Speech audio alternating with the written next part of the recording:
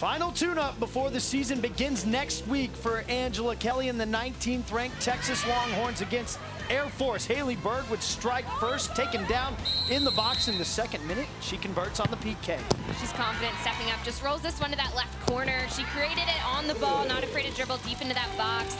Stepped up, put that one away for her team. In what may be a theme for Texas in this 2019 season, Cyera Hintzen causing havoc.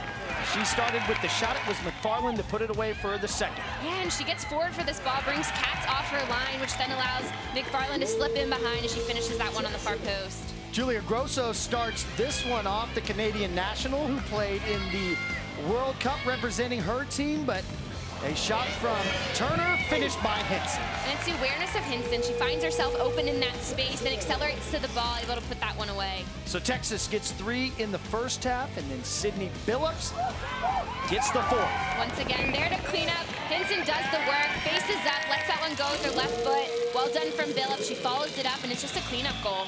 A beautiful lead from the freshman, freshman Nobles here for Haley Berg to get her second of the match. And this was one of the best build-ups in what we saw in the goal. Well done there. Opening up for Nobles, lets it go. And then you see Berg getting forward, putting that one home. So Texas gets five against Air Force. They will kick their season off August 22nd live here on LHN against Gonzaga.